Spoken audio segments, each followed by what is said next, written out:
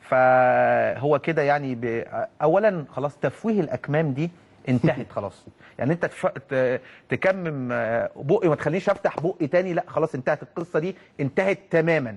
وعايز أسألك سؤال يا أستاذ محمد عثمان يا محامي يا محترم يا اللي كنت بتعمل مع إن شاء الله يسقط في الانتخابات. استنى استنى كنت بتعمل مع المستشار مرتضى منصور بتتمرن في مكتبه أو موجود معاه في مكتبه آه، المستشار مرتضى منصور. فبسألك سؤال لذيذ قوي. حضرتك محامي الكابتن حسن حمدي. تعال نشوف المستشار مرتضى منصور اللي انت كنت بتعمل في مكتبه قال إيه على الكابتن حسن حمدي؟ وهنشوف حضرتك هترفع قضية على المستشار مرتضى منصور ولا لأ؟ تعال نشوف.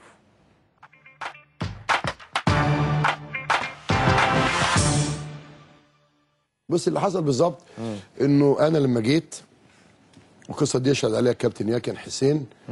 آه فوجئت إنه آه، مديرة مكتب الكابتن حسن حمدي بتقول لي إحنا كنا في شهر إبريل. آه بتقول لي آه، في آه، هداية آه، رأس السنة. هنبعتها لك.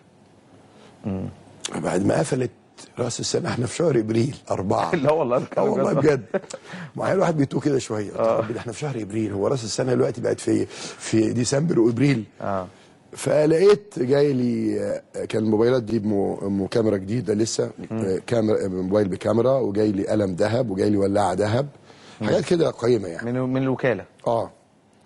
فجبت الكابتن ياكن قلت له اكتب جواب ال- الأستاذ حسن حمدي رئيس وكالة الأهرام للإعلام. آه. وصلتني هديتك بين قوسين أقصد رشوتك. لو كنت قد أرسلت لي هذه الهدية بصفتك رئيس النادي الأهلي كنت قد قبلتها لأنني أحترم النادي الأهلي ومجلس ادارته وجماهيره لكن أنت أرسلتها لأن تجديد التعاقد بعد أسبوعين. خدت يا كان خد الحاجات دي كلها؟ آه. وراح طالع بيها على الأهرام على الوكالة وسلمها. آه. ودي تعالى أنا كان سامعني وشايفني دلوقتي. ودي كانت البداية. فطبعا في ناس هناك قعدوا يضحكوا عليها كانوا ده راجل باين عليه مجنون ده والله. الناس كلها بتاخد يا عم ده في ناس بتاخد تلفزيونات وناس بتاخد عربيات. وصلتني بين قوسين رشوتك. إحنا غلابة. ما تعملش علينا أسد. إحنا غلابة. الشار مرتضى ده حاجة جامدة. والراجل قال كلام جامد. ومعاه الورقة ومعاه ال... كل حاجة جميلة قوي شوف الاستاذ المحامي المحترم محمد عثمان. اتفضل. أول حاجة آه،